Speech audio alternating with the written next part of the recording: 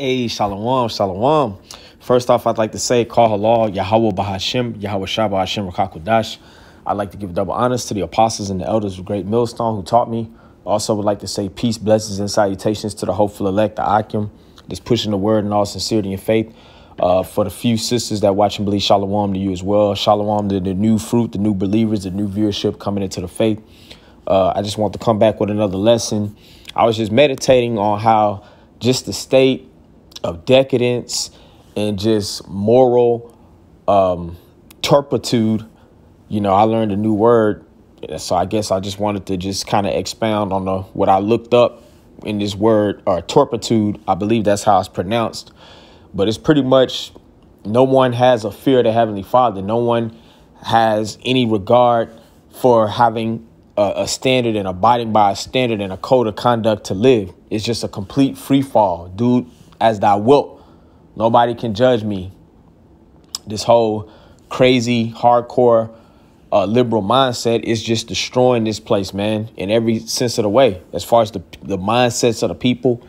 So it's just going back, just like in the days of old, just like during the time of Noah during the flood, because that's one of the reasons why the Most High, he had to judge the earth at that time by the flood, because wickedness was just at a all-time high level.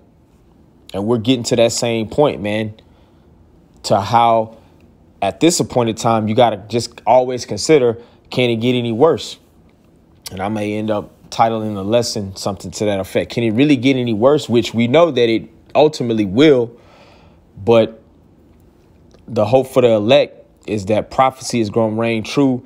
And once we get through the bitter, you know, it's going to be sweet for the elect if we're those that we're set to endure to the end and complete our course. But for the majority of this world, they're going to have to receive judgment. You know, most of the people that's occupying the planet Earth, they're here to receive their judgment because wickedness is just going at a at an all-time pinnacle. And the most high, he's gonna have to make a move, just like in the days of old. And I'm right here. I'm gonna start at the Genesis. And Genesis, the book of Genesis, the beginning, uh, chapter 6, verse 5, it says, And the Most High Yahweh saw that the wickedness of man was great in the earth, and that every imagination of the thoughts of his heart was only evil continually. And doesn't that ring a bell? It seems like the same pattern of behavior that's going on today to me. There's no, there's nothing new under the sun, like it tells you in Ecclesiastes. And with the the the the, the advances in technology having uh, access to the internet and social media and all of these different platforms like YouTube, like people are even able to dig deeper into their wickedness, man. Especially if you got resources, you can just ball out in wickedness, man. Verse 6, Genesis 6 and 6. And it repented the Lord that he had made man on the earth, and it grieved him at his heart.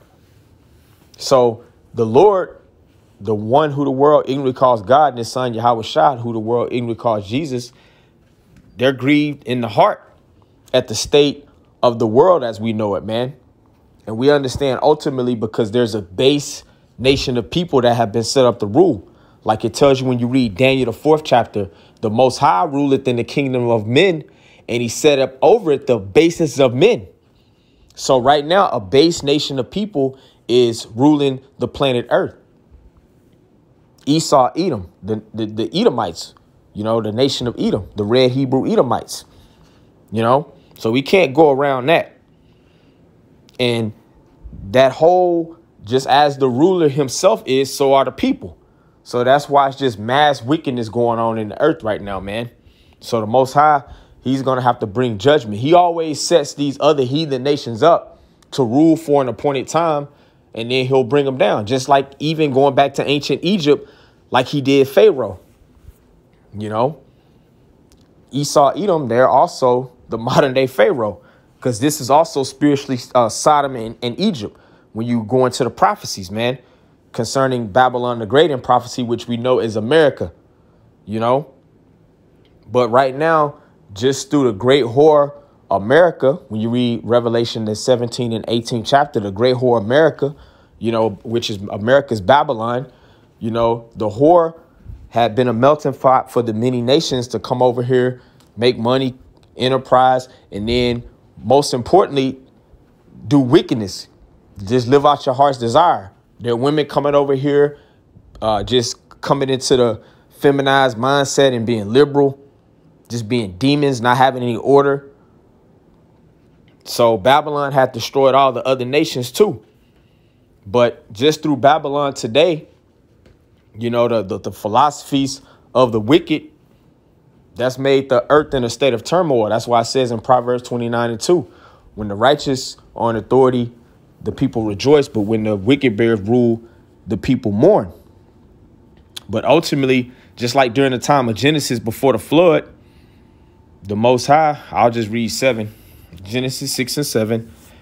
And the Lord said, I will destroy man whom I have created from the face of the earth, both man and beast, and the creeping thing and the fowls of the air, for it repented me that I have made them. Verse 8, but Noah, Noah, which means comfort, found grace in the sight in the eyes of the Lord. So we're hoping to be the elect. Noah in his household, that was the elect at that time that were saved on the ark. Through Noah's family, that's how the earth was repopulated through his sons, you know, Ham, Shem, and Japheth. But there's going to be an election that's going to be reserved in this modern day destruction, according to prophecies, that's going to happen to Great Babylon as well. And the reason that the Most High has his eyes set to destroy Great Babylon is because wickedness is even at a higher level than at this time back in Genesis, man. People are able to just go completely crazy, man. And it's getting worse. That's why we're pilgrims passing through this place, man. We really should pray that the Lord get us out of here sooner than later. Because it's only going to get worse before it gets better. You know? Through much tribulation, we enter into the kingdom, even if we are elect. You know? We're going to have to go through Jacob's trouble, the hour of temptation. You know? But ultimately, the elect is going to prevail. But yeah, I want to get this real quick. This is in Second Ezra 2 and 13. It says, Go and ye shall receive. Pray for few days unto you, that they may be shortened. The kingdom is already prepared for you. Watch. So we got to pray for fewer days in this place. There's already been a kingdom prepared, which ultimately the nation of Israel, the body of believers, the elect, first and foremost, under Yahweh Shah, that represents the kingdom, no matter where we are. But we understand, according to prophecy, once Babylon, the great, the virgin daughter of Babylon is brought down, then the, the, the deliverance of the elect and then the kingdom of heaven is going to be established on the planet Earth. So we got to be prepared and watch. And while we prepare and watch, we preach the word, man. We edify the, the body of believers, the elect, to continue in the faith and holding fast to the faithful word until Yahweh Shah comes to deliver us according to prophecy, as it as is written.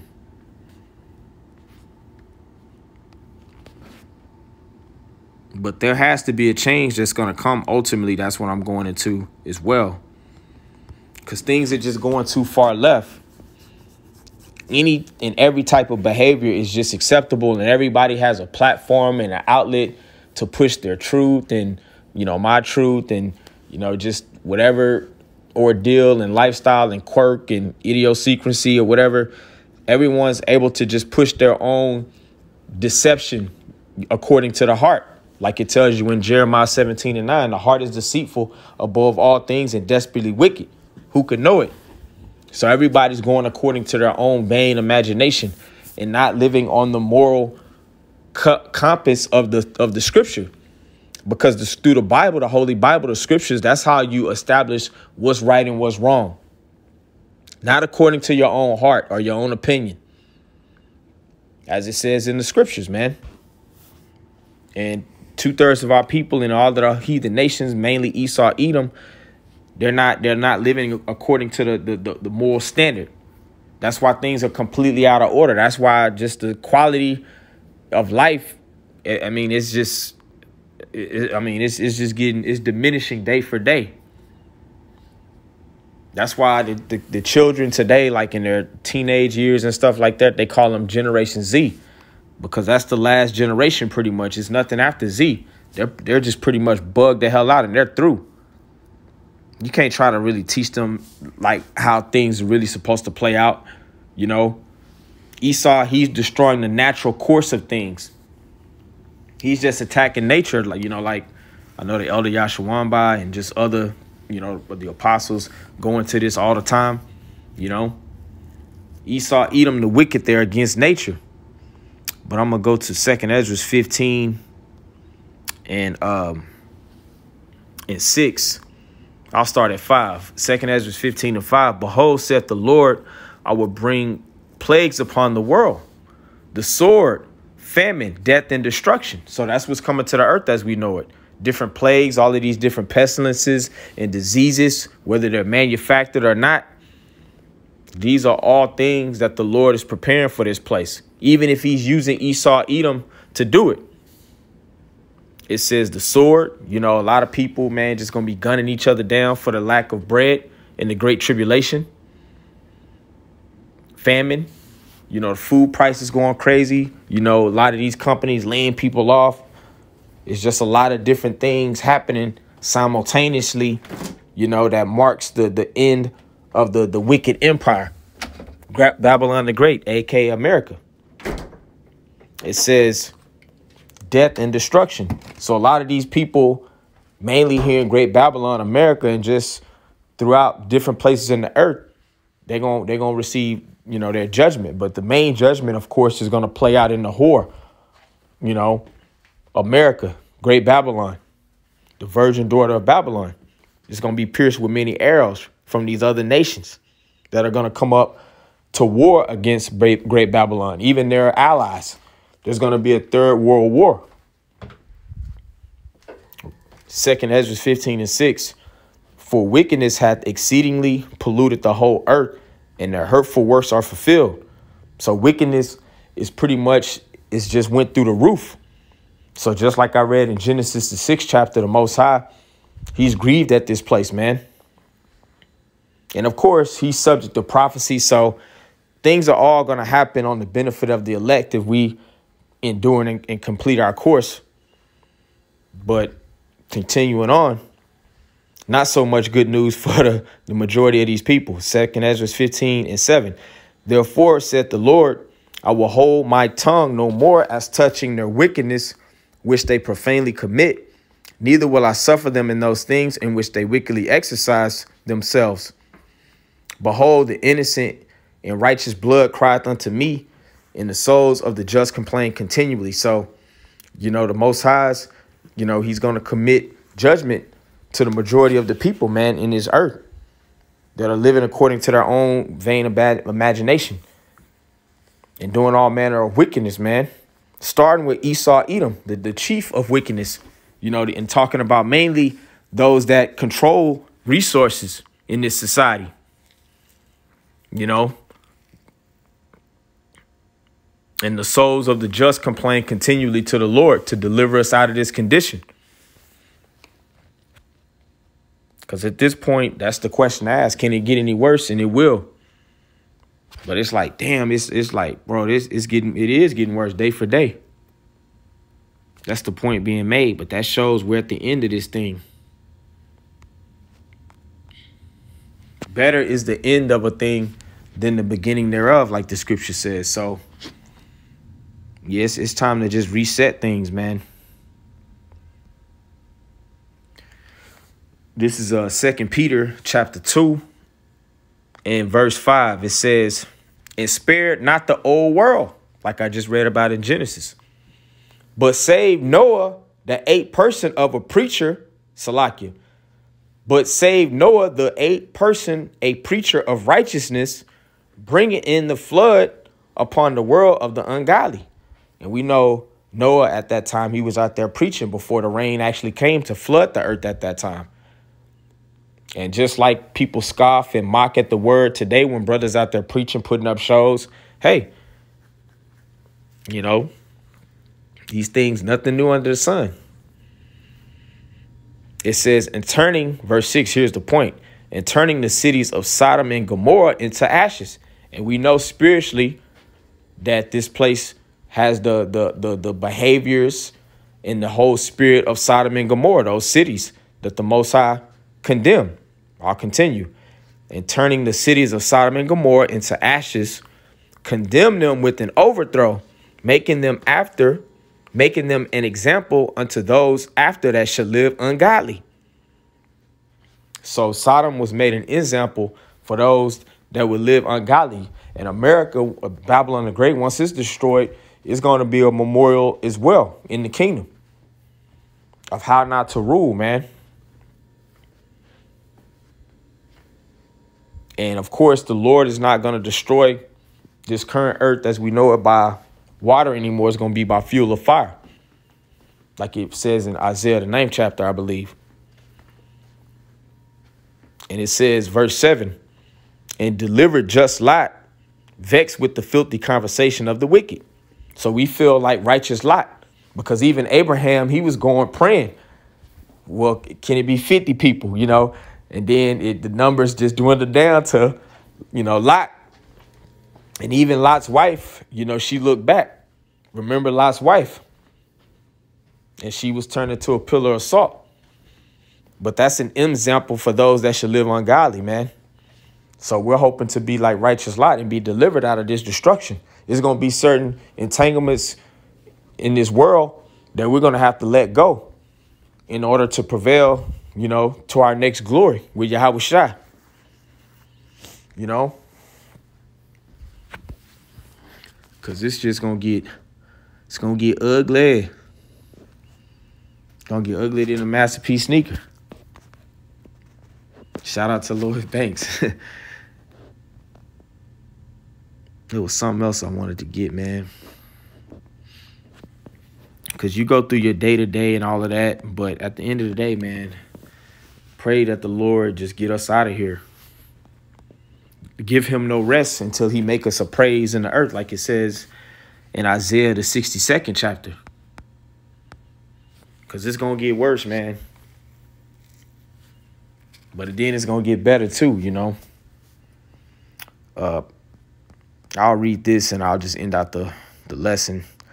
I wasn't trying to go too long, but just rocking in the spirit.